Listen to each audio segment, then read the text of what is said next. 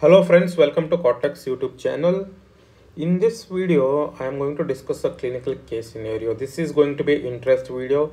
Uh, please uh, follow the question here. Elderly male with known coronary artery disease and known systemic hypertension and type 2 diabetes mellitus. Uh, he complains of uh, frequent episodes of irregular heartbeats. He reports uh, transient sensations of racing heartbeat followed quickly by normal heartbeats. And ECG is obtained. What is the diagnosis? By looking at the history, some patient is having irregular uh, palpitations. That means it may be related to arrhythmias and is already known as CAD and uh, diabetes hypertension. They are risk factors and uh, of course you know, CAD is a risk factor for uh, PVC and other source of arrhythmias. So let's look at the ECG. So assuming that it- this ECG is taken with a normal standard standardizations, let us comment on its rhythm first. So any ECG first you have to comment rhythm.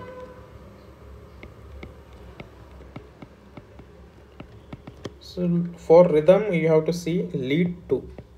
Look at the lead 2. Here it's given. This is rhythm strip. See these are normal sinus beats. Why I'm saying normal sinus beats? There there is a P wave, QRS complex and T wave. P wave, QRS complex and T wave. This is abnormal beat. I will tell you what it is. Now again normal sinus beat, sinus beat, sinus beat, sinus beat. So and if you look at the distance between two RR interval that is two R waves of sinus beats that is equal. So there is irre- regularly irregular rhythm. Because see these sinus beats are regular. And see look at this. This there is irregularity. So there is irregularly irregular. These irregularities at a regular interval. See look at this. This is one two three. Third beat four five six seven eight. So every third and eighth beat there is irregularities that means uh, there is some amount of regularity is there. So rhythm is regularly irregular regularly irregular.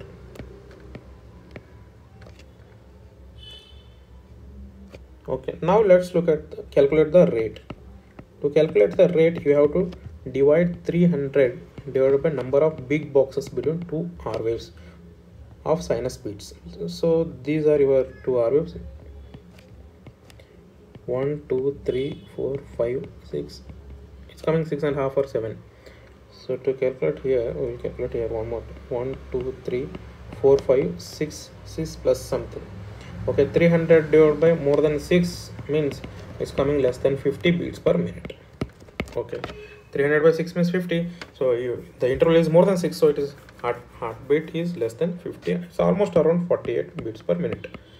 Okay that means there is bradycardia but rhythm is in so background rhythm is in sinus rhythm. So we can call it as sinus bradycardia. Sinus bradycardia. Okay? Okay. So rate and rhythm is over. Now let's calculate the axis. What is axis? So for the axis we have to see lead 1 and lead avf so in lead 1 qrs complex is predominantly positive upward. In lead avf uh, sinus qrs complexes are predominantly upward positive. So that means normal axis. Axis is normal. That too between 0 to 90 degree plus. Okay. Now we calculated the rhythm rate and axis. Now let us look at the abnormalities here. So what are the abnormalities that you can find out? Obviously conspicuous or striking abnormality are your these uh, complexes. I'll tell what are these complexes later but if you observe carefully you are able to find uh, q waves in lead 2 3 and avf q wave in 2 3 avf 2 3 avf suggests inferior wall. Q wave means it is already evolved or chronic. So chronic. And there is one more thing that is suggestive of chronic infarction is t wave inversion. So t wave is not norm no it has not become normal. That means it's still chronic mi we can call it as chronic uh, because of presence of q wave and t wave inversion and uh, Mm, why inferior because 2 3 avf so 2 3 avf leads shows leads 2 3 avf shows chronic inferior wall mi okay see the presence of chronic inferior wall mi can trigger few complexes. Can trigger few arrhythmogenic uh, beats. Abnormal beats. Okay. Now uh, we can also we can also diagnose with the help of ECG whether this is inferior wall of right ventricular or left ventricular. Just by looking at the, this PVC's Uh, uh, morphology in which lead it is positive in which lead it is negative. So now let's come to these abnormal striking morphologies of QRS in the lead 2 let's look at in the lead 2 rhythm strip. First second third beat is abnormal. What is this abnormality? Look at this QR inter QRS interval and this QRS interval.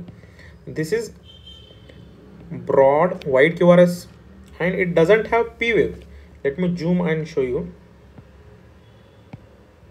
Look at this. This is an identifiable P wave this is also identifiable P wave but look at this complex.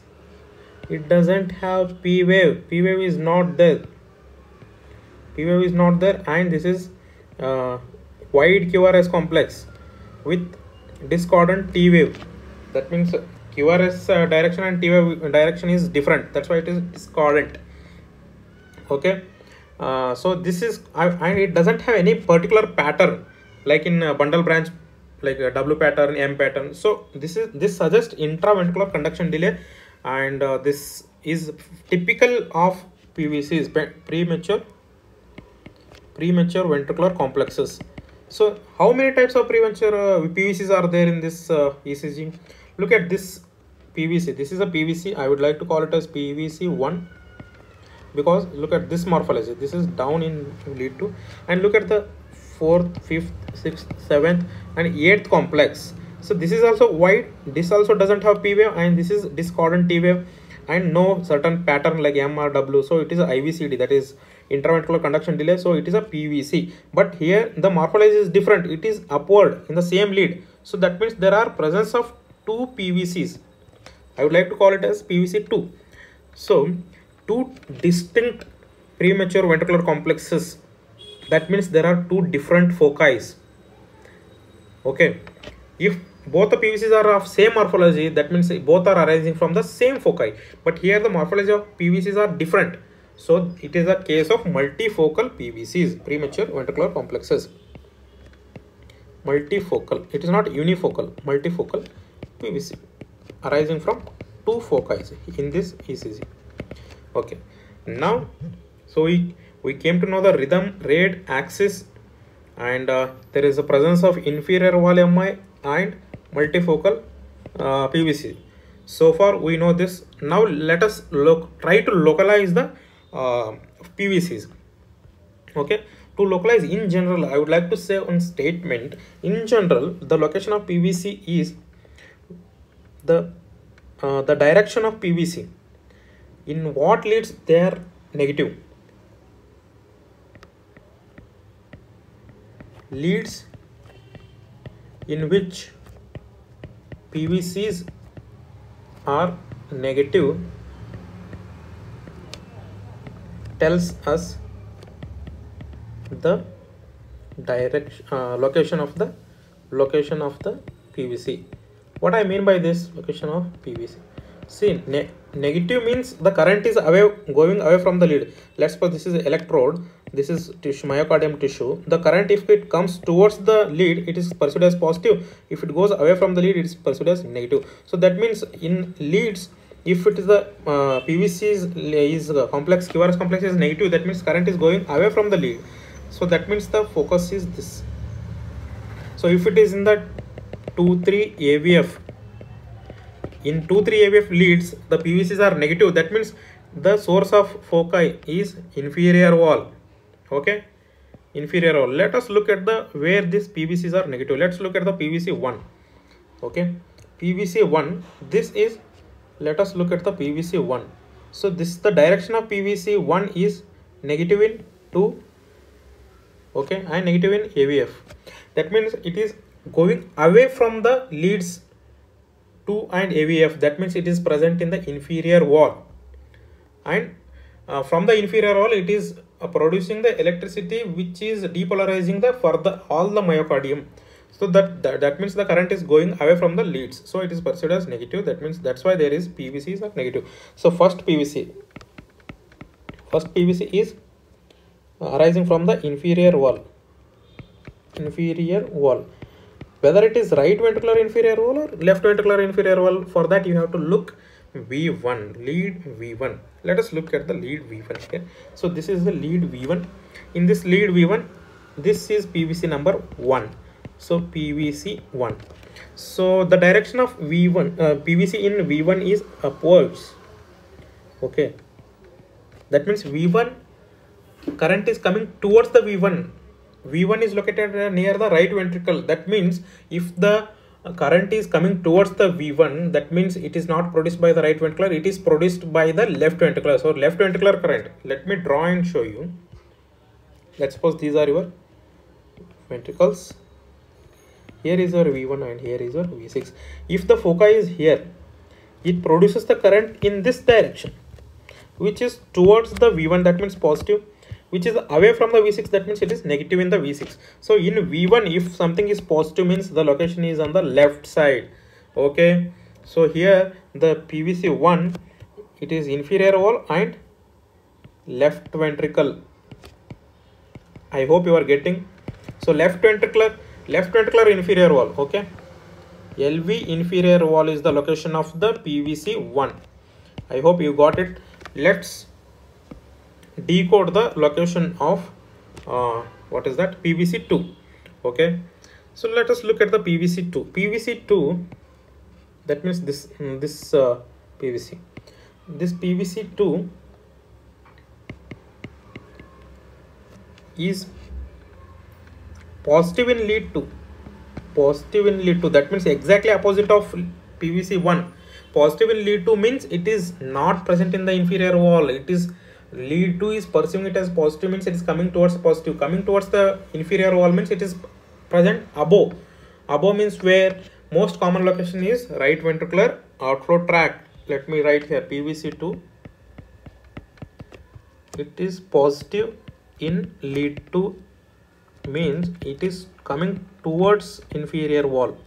Towards inferior wall. That means some somewhere above from above it's coming. So most common non-infarct uh, pvc location is rv outflow. Outflow. So this is rv outflow. Okay. And this also has which pattern? Look at this v1 so this pvc is negative in v1 that negative means what? What did i tell negative means v1 that means it is going away means right ventricle. So it's also already telling it is right ventricle. So we are right. Okay. So pvc 1 is arising from the left ventricular inferior wall. Pvc 2 is arising from the right ventricular uh, outflow. So this is the interpretation of this ecg so that means this elderly man is having what all are the things? What all are the things? Let me summarize right here so he is a known diabetic hypertensive and coronary artery disease. The ECG is showing. Let me summarize the ECG findings here. Obviously, it is sinus bradycardia. Why sinus rhythm? Because background uh, rhythm is sinus originating from sinus uh, node bradycardia, and it also shows intraventricular conduction delay in in forms of PVCs one and two, and uh, there is also there is presence of chronic inferior wall mi which is a nidus for, for pvc1 and there are uh, okay these uh, pvcs i'll write here. Pvc1 and 2 are multifocal. These pvcs are multifocal. Okay. So this is about this video. Uh, if you don't understand anything please free feel to comment below your queries. I would be very happy to answer them. Uh, hope you understood something from this video. If so please like share and subscribe and thank you so much for watching. Thank you